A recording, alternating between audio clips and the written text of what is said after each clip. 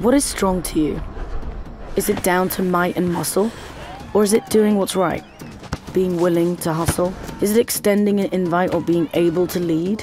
I want you to pass on. Is strong not being scared to succeed? Strong could be having the focus to stay on track, letting a mate know you've got her back, helping a friend to her feet, being ready to compete, being a girl, and being an athlete. Or maybe it's bigger than that, because we get 10 times the strength when we're more than just one. Each of us playing our part, giving it all our heart. It's feeling we belong. That's when we're at our strongest. Together, we play strong.